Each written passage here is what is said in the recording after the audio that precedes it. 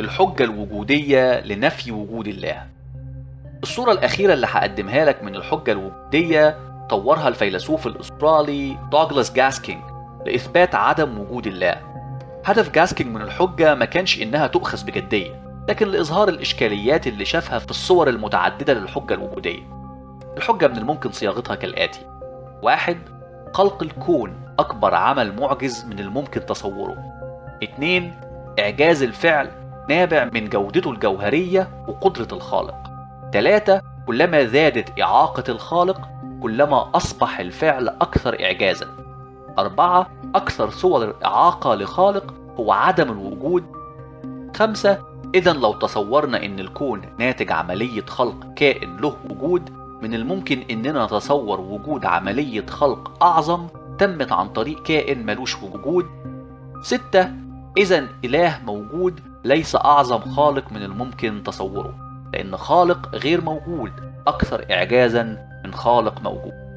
جاسكينج بيجادل بشكل فيه نوع من السخرية إن عملية خلق الكون عملية معجزة وإعجازها نابع من قدرة الخالق وجودة الخلق نفسه.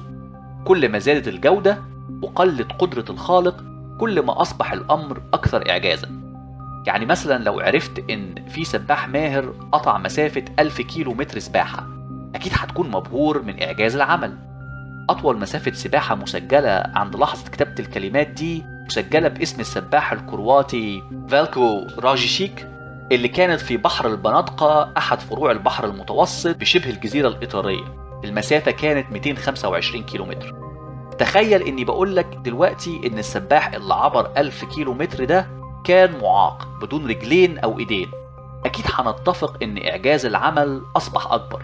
ومن هنا جاسكينج استخدم المنطق ده للجدال إن أكبر صورة من الإعاقة هي عدم الوجود بالمرة.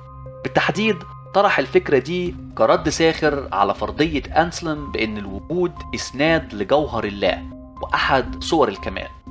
الفيلسوف الأسترالي المعاصر جرهام أوبي نقد الحجة وشاف إن في حين من الممكن قبول فكرة عظمة الفعل بتتزايد مع تزايد حجم الفعل وتناقص قدرة الفاعل لكن لا يوجد سبب لافتراض إن خالق بدون وجود هيكون أعظم. وهيستطرد لأن مفيش داعي أصلا لافتراض إن خلق الكون أعظم عمل ممكن تخيله.